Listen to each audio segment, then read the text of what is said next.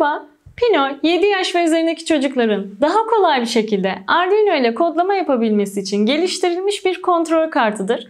Bu videoda sizleri Bluetooth modülü ile tanıştıracağım.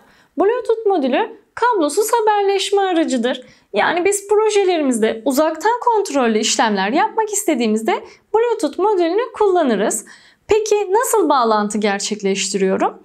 Pino kartımız üzerinde Bluetooth için özel olarak ayrılmış bir bölüm bulunmakta. Fakat Bluetooth'umu takarken dikkat etmem gereken birkaç adım var. Öncelikle Bluetooth'umun arkasında VCC, GND, TX ve RX pinleri bulunmakta. VCC'yi 5 volta, GND'yi GND'ye denk getirecek şekilde takmalıyım. Bu şekilde. Evet. Bağlantımızı bu şekilde oluşturabiliyoruz.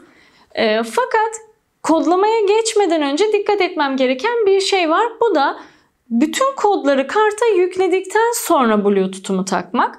O yüzden şu anda Bluetooth modülümü çıkartıyorum. Öncelikle kartımızın bilgisayarla bağlantısını gerçekleştirelim USB kablo yardımımızla. Ardından kodlarımızı yazalım ve sonra Bluetooth'umuzu takalım. Pino kartımı bilgisayarıma bağlıyorum. Embilo programı üzerinden kodlayacağım. Embilo açtım. Pino ile ilgili kodları bulmam için öncelikle Pino uzantısını eklemem gerekiyor. Uzantılar, uzantıları yönet. Ara bölümüne Pino yazıyorum ve gelen eklenti paketini indir diyerek Pino uzantısını aktifleştiriyorum. Artık robotlar sekmesinde Pino ile ilgili kod bloklarına ulaşabilirim. Ardından kartlardan Arduino Nano seçili mi kontrol ediyorum. Uzantılardan sadece Pino'nun seçili olması yeterli. Diğer tiki kaldırdım. Ve bağlan menüsünden bağlantımızı gerçekleştirelim. Seri port COM6 benim şu anda Pino kartımın bağlı bulunduğu USB portun adı COM6. Sizlerde COM3, COM5, COM7 gibi farklı değerler olabilir. Pinonuzun bağlı bulunduğu USB portun adını direkt seçebilirsiniz. Port bağlandı. Şimdi de aygıt yazılım güncellemesi yapalım. Aygıt yazılım güncellemesi en yazılımı ile Pino kartım arasındaki haberleşmeyi sağlıyor. Ee, ve Pino kart üzerinde daha önceden yazılmış kodlar varsa bunların silinmesini yani sıfırlanmasını sağlıyorum. Ve bağlantısını, kodlamasını yaptığınız halde çalışmayan projeleriniz varsa aygıt yazılım güncellemesine başvurabilirsiniz. Yükleme tamamlandı. Kapat diyorum. Bluetooth'umla çalışabilmem için öncelikle herhangi bir olay tanımlaması yapmıyorum. Direkt Pino program ile olaya başlayacağım. Pino program diyorum. Gelelim Bluetooth ile ilgili kod bloklarımıza. Evet, İlk görevim Bluetooth'umun bağlandığını belirtmem. Burada bağlantı kur Bluetooth'umla diyorum ama RX ve TX pinlerini 0 ve 1 şeklinde değiştiriyorum. Ee, Pinom geliştirilirken TX ve RX pinleri 0 ve 1. pinlere bağlı olarak hazır bir şekilde gelmekte. Yani bu da bizim için bir kolaylık aslında. Bunu düzenlemeyi unutmayalım. 0 ve 1 şeklinde yazdım. Ardından şöyle bir işlem yapacağım. Bluetooth ile bağlantı kuruldu mu? Eğer Bluetooth ile bağlantı kurulduysa telefon üzerinden gelen bilgiyi Bluetooth'um haberleşsin ve LED'e iletsin. Bir LED yakma örneği yapacağız Bluetooth ve telefon uygulaması üzerinden. O zaman kontrol bloklarına geliyorum. Eğer Bluetooth kullanılabilirse diyorum. Bluetooth'tan gelen sayısal veriyi okuyacağım. Ben telefonum üzerinden sayısal veriler göndermek istiyorum. Sizler isterseniz karakter veri de gönderebilirsiniz. Sayısal veriyi okuyorum ve bu telefonum üzerinden gelen sayısal veri verinin 0 veya 1'e eşit olup olmama durumunu kontrol edeceğim.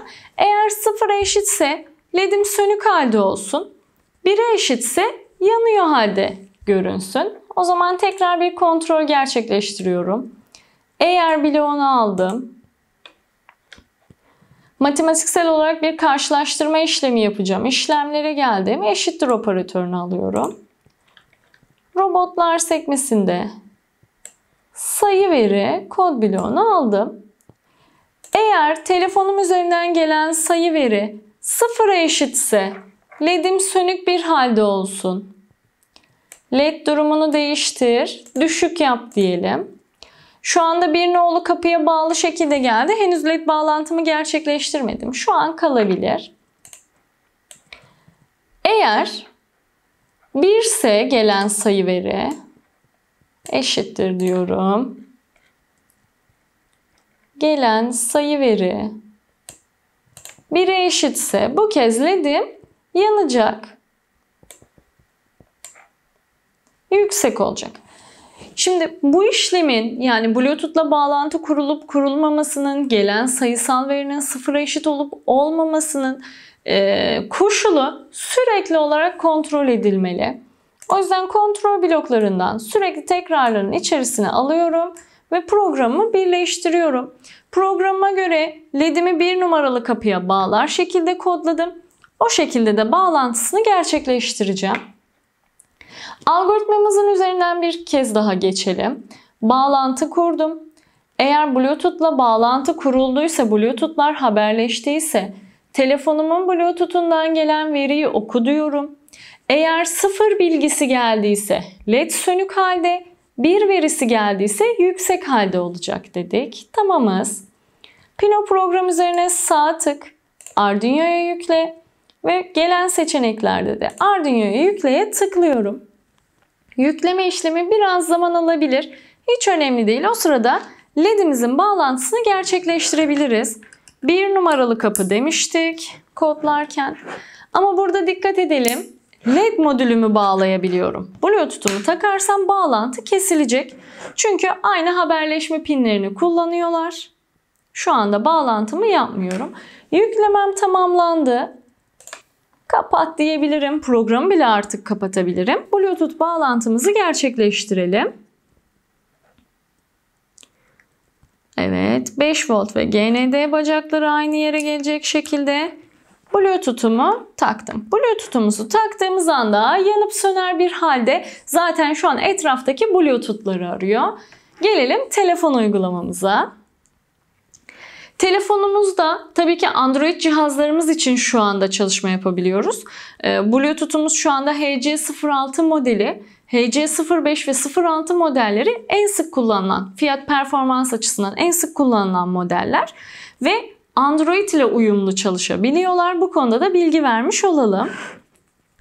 Android cihazınıza e, Play Store'dan Bluetooth controller uygulamaları indirebilir veya kendi uygulamanızı da yazabilirsiniz. Arduino Bluetooth controller uygulamasını açıyorum. Bluetooth'umun açık olduğundan eminim. Burada Bluetooth'um listelenecek ama öncesinde telefonumun Bluetooth'uyla eşleşmem gerekmekte. Bluetooth simgeme tıkladım. Benim nadir kullanılan cihazlarıma gelmiş. Modülümün adı 5C89. Eşleşsin mi diyor. Ben buraya 1, 2, 3, 4 veya 4 adet 0 yazabilirim. Tamam dedim. Eşleştiriliyor. Şu anda eşleşti. Ortamda farklı bir Bluetooth olmadığında bunu rahatlıkla yapabilirsiniz. Artık kapattım. Gelelim uygulamamıza. Evet şu anda HC06 şeklinde çıktı. Ben hemen tıklıyorum üzerine. 4 tane durumumuz var. Biz burada LED yak ve söndür uygulaması yapacağımız için switch moda tıklıyorum. Sadece aç kapat durumları için kullanılıyor. Sağ üstte bulunan ayar düğmesini tıkladım. Daha önce programı kullandığımda yanması için bir, sönmesi için iki durumunu kullanmışım. Evet yanması için bir yaptık ama şu anki kodumuza göre sönmesi için sıfırı seçiyorum. Tamam dedim. Ardından buradan çıkış yapıyorum. Şimdi bilgiyi gönderelim. Evet yanması için gerekli bilgi gitti ve yandı. Tekrar tıklıyorum. Yeni bir bilgi gitti. Sıfır bilgisi ve söndü. Kontrol edelim tekrar. Bir bilgisi geldi, yandı. Ve sıfır bilgisiyle söndü. Evet Bluetooth'un kullanımı karmaşık gibi görünse de oldukça kolay ve eğlenceli. Sizler de Bluetooth modülünü kullanarak akıllı ev sistemleri, uzaktan kontrollü bir araç gibi projeler gerçekleştirebilirsiniz. İyi çalışmalar.